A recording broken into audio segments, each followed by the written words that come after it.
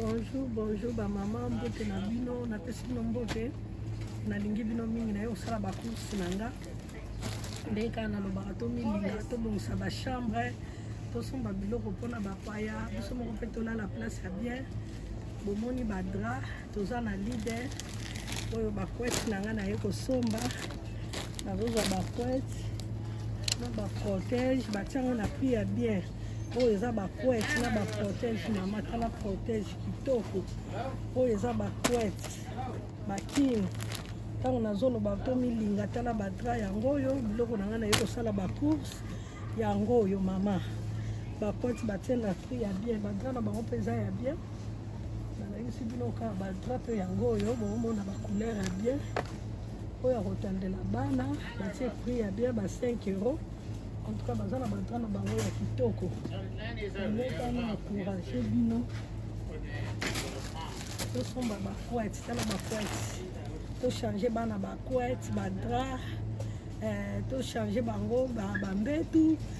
ndeka nautaki koloba na video wana mosusu normalement il faut kozalaka place tozofanda ezalaka soin yango naye kolakisa bino kaka nakolakisa bino suite naza awa na albi naye kosomba biloko na ngai bakwete na biloko na ngai chambre baoreiller badra bakwete baprotège yango oyo donc nakolakisa bino soki tokomi na ndako donc nyonso yango bino moko bomoni bato ekoti na aldi boya boya kosomba yango oyo nakolakisa bino sikoyo tozokontinue eh, bacourse na biso nalakisi bino kaka naye kosala bacourse na ngai ya badra na ngai baserviete na ngai biloko na ngai nyonso nakolakisa bino oyo nakosomba tokontinue ya ndenge kaka nalobaki nao tosala bacourse na ngai oyo boomona eza bakwete na ngai ndenge nalakisaki bino naza na aldi sikoyo nakomi na ndako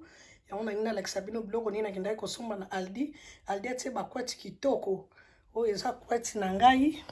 nao tosomba ndenge nayebisaka bino chaque mois zalaka na idee ya kobakisa eloko moko moko moko nakomi na ndako sikoyo yango naolakisa bino oyo badra na ngai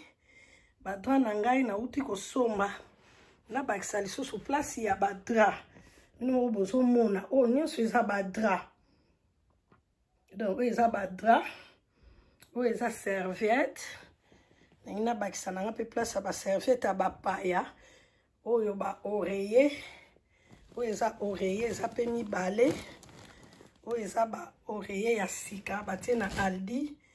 oyo eza ba pilo mpe kaka ba oreiller ya kati oyo bilamba olatisa ba oreiller yango na ngai kaka nalakisa bino oyo soki bomoni yango eza ba ba oreiller eza mibale ba pilo na anglais donc tozala biso yo naolo bazalaka mayele ya kosombaka ta eloko na yo male male male male momona okoma na ordre nalakisaki bino kosombaka eloko moko te neti boye nauti sikoyo ya badra eh, na video wana mosusu nalakisaki bino wenza gambela na wenza mindele me lelo naye kolakisa bino ndenge nini moto okoki kozala bien chambre no ezala propre bana no balala esika propre nde kaka nautaki koloba na bino yango naolakisa bino vraiment tozokontinue na biso kosolola nalingaki kaka nalakisa bino oyo eza quete aldi akotisi oyo eza badra en tout cas mama badra oyo eza te na ofongola yango kaka lelo lelo nabandi kolalela mpo bana baza na bango na badra me natie badra na ngai mpe ya réserve hein? en tout cas chaque année ngai nalingaka na renouvele eloko nyonso moko moko moko moko ndenge nayebisaki bino ke oyo serviette soki mpe nayambi na ngai motu nayebi ke ya reserve ezali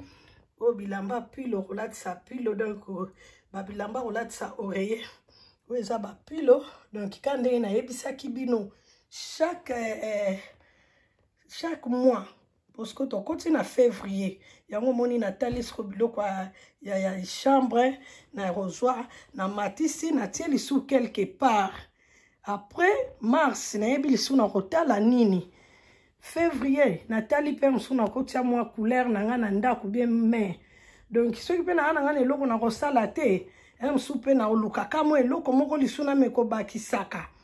omoni de mai neti ngai na mai naa na programme donc faut na renouvele biloko ebele ekozala ya cuisine mai natiaki yango deja na programme yango nalingi bino mingi donc naolakisa bino kaka bayaya na ngai bozwaka idee donc ekozalaka te ke dra moko wana soki ekaoki te okomi motema moto mopa ya kolala wapi donc naye kolakisa bino kaka boyeba ndenge nini mpe bokozalela eh, donc on ensemble bonjour bamama bonjour bapapa eza nga ndeko na bino sere na bino mama na bino yaya na bino leki na bino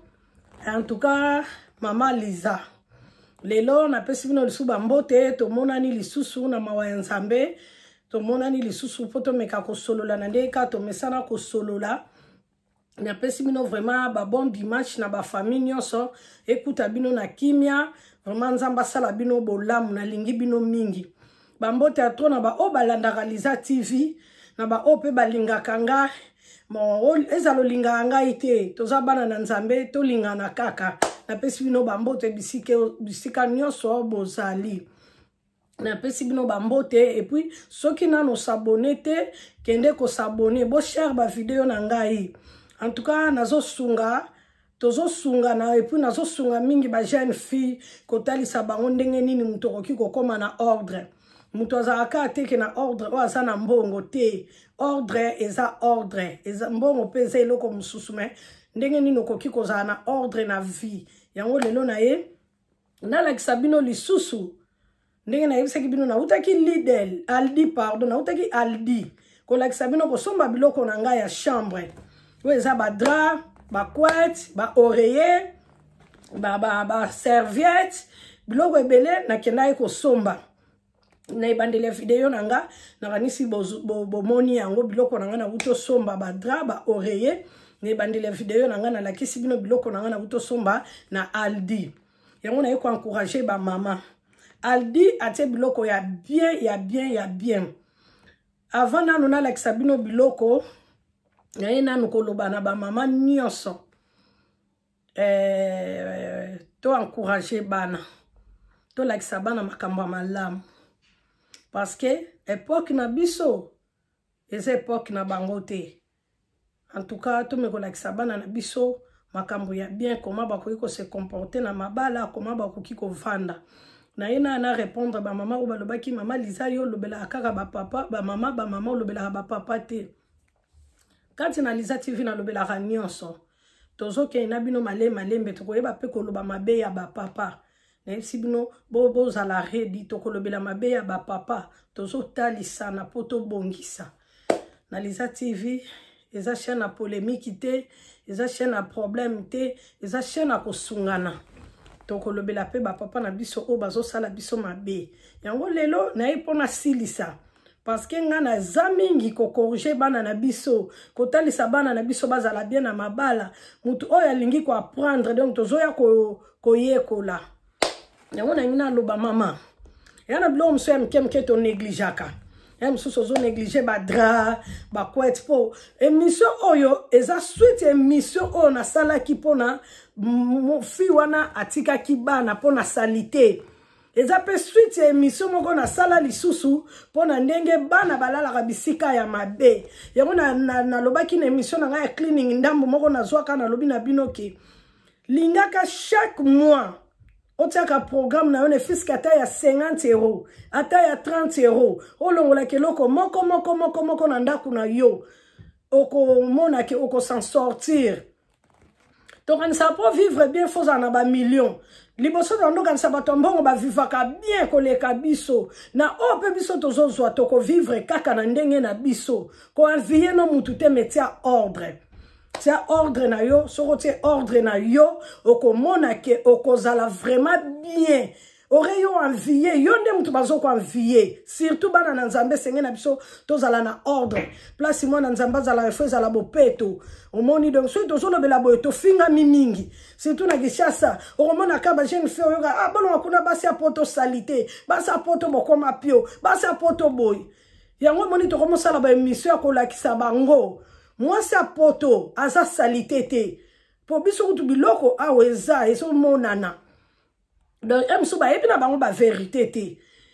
tolinga mpe tolakisa ke basi ya poto baza salite te baza pio te baza soki boyeboye te tozalaka na temps mingi te mpo na mosala me neti lelo samedi conseil napesaki zwaka temps mpo na ndako na yo zwaka temps ndeko tozowela kotindela bango mbongo kaka bango bato bazofinga biso mpo biso toya na temps te zwa temps mpo na ndako na yo zwa temps mpo na makambo no nyonso yango lelo na ye mpo nalakisa bino mpo bana ebele bazosenga nga surtout bana allemagne bana ebele ya belgique bazokomela nga bazobenga ngai tantine elise vraiment merci nakomomeka kotia ordre na ndako na ngai mpo na bavideo na yo merci nzambe apambola bino oyo bozolanda mpe bozomeka kotia ko en pratique bana na biso bamama na biso vraiment tosala effort merci nzambe apambola bino tokontinue bongo na moke tozozwa tovivre bamona mpe place tozovanda eza propre bana na biso mpe baza propre bazozanga ya, ya kolia te ya komela te ya kolata te moke ozozwa vivre vie na yo yango nange na profite koenfiyaka te soki otie ordre okovivre bien koleka kutu moto oyo ozo koenfiye eloko ezosala biso manka ordre mwana na nzambe ntango okomi koenfiye nde omonaka motema mabe elatami yo okomi kokende otonga moninga oyini ye sikoyo efo olinga otia ordre omoni tolinga totia ordre yango eloko na ye koloba lisusu na sens ke ndeko na ngai na vie ya lelo banda nanu kobongisa ndako na yo banda nanu kotala bana na yo nsima ntango okobanda otala makambo mosusu nayebi bien tozotonga na biso na afrike me kobosana ndako na yo te mpo apres afrike ozongaka kaka na ndako na yo ah, naza bizi mosala tikala na kobongisa ndako na yo tikala koklini ndako na yo apres mosala okozonga kaka na ndako na yo tala ndenge bakonfine biso soki oza na place ya malamu te bandeko yango nalingi na profite mpo na temps tala naye kolakisa bino oyo oreye baoreye na ngai yango na utosomba nasombi yango na aldi baoreye oyo batia yango mibale oyo yokanisi soki ozobongisa place ozolala te okozala na kimia te okozala na esengo te na profite koyebisa bino oreye oyo atia yango prix ya bien eza mibale na kati ntango ye atia yango mibale na 10 euro ozwi yango nazwi yango de pake naza na de pake na ngai ya baoreye nauti kozwa mpo nalakisa bino omoni baoreye na ngai yango oyo de pake esali ngai 4 yango oyo bapake na ngai ya baoreiller esali ngai 4 baoreiller yango oyo mama nani akotisi aldi nyonso ndenge nayebisaki bino toyeba komilengela toyeba komibongisa soki ozolala place no mpe ya propre ndenge bakonfine biso dra na yo ya bien kweti na yo ya kitoko mama soki mibali bazofinga biso mpo tozoneglige baplace na biso soki okabwani na mobali yebaka kobanda oluka kaka yo ozala na pasi bana baliaki te basala boye lelo ekomi systeme ya video moto akoya na ndako na yo abendi yo zumu ya kizini na yo abendi video ndenge ovivelaka na ndako na yo mama lobi boswani de boswani te ayini yo apiblie me ntango yo ye na ndako na yango okuti propre video nini yo okobalanse ngai ya salite bolimbisi namela na mwati ona ensemble bayaya merci mingi yango nayebisi bino nalakisi bino biloko na ngai nasombi yaya azalaka na programme totika kolalisa bana baplace ya mabe totika kolala baplace ya mabe bazofinga biso salite tandiske na moke tozozwa tokovivre naye koencourage yo ndeko biloko mosusu ekotaka na aldi lidel eza bien bana ata baza kaka na 3 drap yaya soki osukoli mosusu baza na oyo remplaceaka eza problème te eza te ezala ebele ebele kosukola korepasse koklasse naye kolakisa bino lisusu oyo kweti na nga oyo kweti na nga nauti osomba ndenge nayebisaki bino nga chaque mois na ne oyo naza na biloko ebele na kochange ya ndako naye kolakisa bino kweti na nga kweti oyo ya ngai te me nalingi nabakisa yango lisusu na kweti ya bapaya nasepeli na kweti yango semaine prochaine nakozwa lisusu mosusu naye kobakisa kweti na ngai yango oyo bomoni yango yango nalobaki tozala na bamashine ya minene mpona kotiaka bakweti na biso oyo ndenge eza boye eza 13 kilo mais soki nayebi te naomona 13 eza ebele tala kweti eza ya sika eza ozala nango ka ndenge eza boye bana baza na bakweti na bango oyo eza biloko na ngai nasombi ya reserve soki oke na aldi lelo okomona yango baoreye esili mpo nazwaki deja mosusu oyo natiaki na changeaki changeaki bana oyo ekozala na basashe na yango mpo na garde yaya nayaka kolakisaka bino te mpo mama elise mama nayaka kolakisa bino tozopartage baidee tozopartage baexperience tozoyekola ensemble ntango ngai nasombi boye naye kolakisa mso obosanaki kochange quete mbala moko ozwi idee yango nalakisi bino quete na ngai yango oyo bomoni naye kolakisa bino serviete na ngai yango oyo nautaki kosomba kaka na aldi akotisi baserviete kitoko ya minene yango oyo serviette na nga mpe yango oyo yaya yango nalakisi bino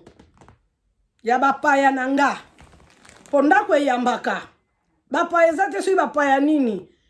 ndeko na nga akoki koya aza mpe relax mbula nyonso akoya yango mpe kozalaka wana nakozala bana basalaka bafeti baninga na bango baye oye na libere bana baninga butu butu butu butu nazwi mpe natandeli bango place ya malamu balali lobi na ntongo bazwi bisi bazwi train yango biloko nasalaka mpo na motu nyonso oyo akolala mpa na nga akovanda mpa na nga aye vakanse mpo na nga yanga moko mpe ezali oyo baoreye oyo oyo bomoni oyo ba bilamba ya kolatisa ba oreiller oyo ekoti na aldi nyonso oyo nalakisaki bino biloko na ngai nauti kosomba oyo badra na ngai yaya oyo oh, badra badra na ngai yaya ya reserve nakofongola te nakofongola badra oyo te ekozala nango boye mpo oyo bazolalela ezali nanu badre ezali nanu yaya tomilinga tovivre vie ya bien bana balala place ya bien ntango nasombi e, e, e, oreiller e, quet naza mpe na elamba na kochange nango bilamba yango bomoni badra yango naye kolakisa mpo bana na biso babanda koapprendre bonne manière biloko na bashop ezangi te nasombi mosusu na aldi mosusu nasombisombi mpe na bamagasin yango oyo ya ya badra bomoni oyo ya ble eza ya bana badra na bango soki ebebi oyo ya ble nakoki kotanda ya bana ya mibali yango oyo moni linga ozwa badra na yo ya decor na yo oyo badra na ngai ndenge bozomona yaya naye kolakisa bino na moke tozozwa tomeka ko vivre na mukie mukie tozozwa to vivre na biso totia ordre chaque mois talaka talaka ata babrosa bana to contrôler brosa bana zalaka na mwa babrosi na yo ya reserve kotisa place okotisaka ndenge omoni ngai boye nakokende okotisa nakotisi nakotisi nakotisi na arrange lipapa na ngai mpe ya chambre ya mopaya na ngai soki ayeke alataka na ndako ezali mama tozala basi sikoyo oyo tozovivre na moma oyo nzambe abateli biso tovanda bisika propre tolia bien eza tosala folie kalikili kaka yaya na ndenge akalikili olobi te naa na 50 na ngai moko ya extra mwasi asombaka biloko oyo eza important kozala bisomba somba somba somba te esombaka biloko oyo eza important nangi naprofite koloba eloko moko na ngai naloba ebungaki nga bayaya na ngai bajeune fille eloko moko naye koloba nabondeli bino omoni youtube eza bien bolandaka me yebaka ozolanda nani na youtube eske mutu nazolanda azoko aporte nga un plus eske youtube oyo nga natalaka nini nazokende koapprendre kolandaka te mutu moko ayaka koloba na ye ayaka kolakisa biloko na ye ndenge ye azwili oyebi te alobi lobi lobi lobi apres afingi yo ozolanda motu wana okokoma mal à l'aise eza na émission moko nalandaki na otanga nkombo te ma esala ye nga mwa mpasi parce que ndenge tofandaka na poto motu na motu aa na ndenge azwilaka motu na motu aa na ndenge avivelaka toza vi moko te mobali no ndenge azwilaka na mobali ya moninga ekokani te me mekaka ya kotia ordre naye kolanda video wana mwana mwasi wana azoloba nini banzungu oyo te banzungu eza mabe boye yaya nzungu nyonso soki ozolamba soki otelemi wana te ezikisaka nango kaka biloko eloko biso tozoloba ya important soin nzungu soki osombi yango garde yango clean soki ozolanda kaka motu nyonso aye kotia video na ye fo boyeba eloko nini ya kolanda lobi oyini ndako na yo okongoli biloko nyonso obwaki okesomba lisu ya sika kaka biloko oza nango bongisa yango kitoko kitoko neti lelo video na ngai naye kolakisa bino badra ntango nabombi boye ekosala ngai ata inane badra oyo ekoki kosala nga mpe une année na se déranger na badra te semaine prochaine nakobakisa kweti moko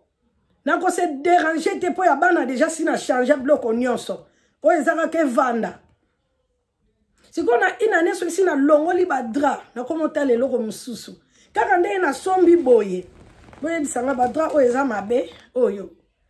ale mutu mosusu lisusu aye kolakisa nalandi lisusu nabandi kozwa badra na ngai nasombi nalongoli mpo nalandaki motu songolo na youtube baleki na nga bamama na nga to apprendre oyo ya malamu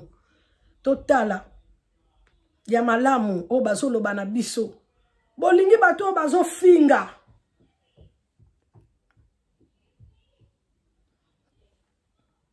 bolingi bato bazofinga me bolingi bato bazoya kopesa conseil te bolingi bato bazoya kokabola experience te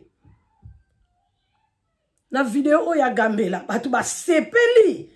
mosusu abengi alobi mama oyebi ke opesi nga mposa legume nakozwa wapi nayebisi ye yaya akende place boye na encourage ye mpe asombi mpe legime na ye tozosala boye mpo biso nyonso tozala na esengo biso nyonso toparticipe na emission na ngai wana ya cleaning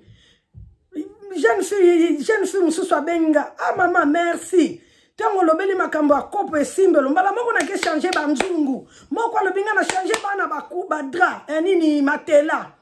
ozomona te sava tozalaka te toza soin na nzoto mais biloko ya nécessaire ya kibumwasi toyebi te soki chambre no eza propre te yaya olalaka wapi ovandaka wapi ovivaka wapi wana tomoni chambre ya bana oyo eza kaka suite ya video na nga dra na yo kolingaka te mobali fo aloba dra oyo ekomi salite kolingaka te bana baloba mama dra oyo tobaye kalikilaka ndenge ochangeaka badra na yo lelo samedi kozalaka ka te bitambola tambola tambola samedi normalement ezalaka mosala ndako ntango mokili ezalaki bien na mpo okokokende no feti mais samedi eza mosala ndako a ah, biso awa jeudi yango tosalaka bacourse bamosusu basalaka lundi ebandeli ya semaine eza problème te soki okaboli na yo kaka ndenge okokabola yaya azalaka na ordre na signale bino déjà ifo kotalaka biloko na aldi azosolde ba huile akosolde huile kende osomba ba huile na yo ngamu nayebisi bino eza nango pibi te me nazosignale bino kende kosomba ba huile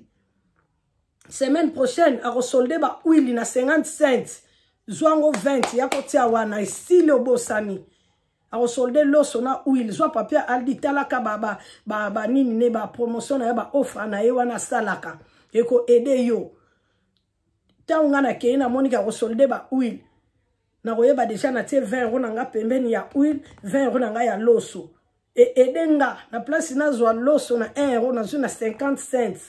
na place nazwa huile na, na 1 euro quelque chose nazwi na 50 cents naye kobomba periode wana nakotikala kozanga yango te yango omoni tozoya pa na bino tozoleka mpona kopartage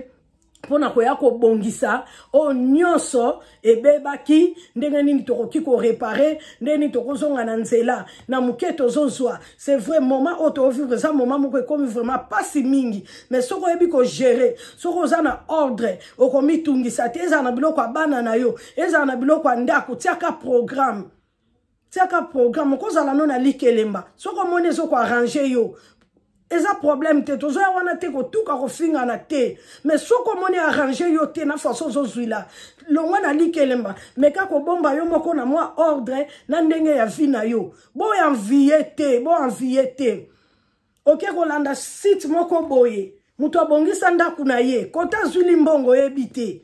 obandi kotia mobali pression tochange biloko ya ndako tozongisa boye malembe kaka ndako wana yo ozolingi ochange biloko clean yango bongisa yango na malembe malembe bokosala programme na bino bokozwa ndako na bino ekoma bien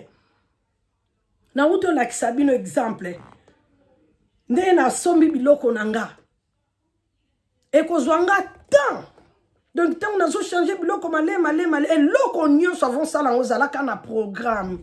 totika kodepense bambongo na biloko ezangazanga na yango ntina lelo mpe bamagaza bilamba bakangi toprofite mbongo wana esunga biso mpona kobongisa bandako na biso yango kaka nangi naloba na bino Vraiment, on est ensemble. Hein? Na ndambo vidéo oyo, bo like, bo s'abonner. Na Lisa TV, toza na makambo ebele ebele oyo il faut to lobela. Semaine prochaine, on se retrouve aussi sa vidéo na biso ya cleaning, na la sabino, ndenge nini siko na sala cascalier ou bien na ko la cleaning général, na ko la sabino. nakoki koexplike bino exemple lokola rido na ngai oyo boomona na nsima nalongoli te me ndenge nini nasala yango mpo ezala clean mpo na repasse mpo nalongola poussière eza na biloko wana ebele nazolinga nalakisa bino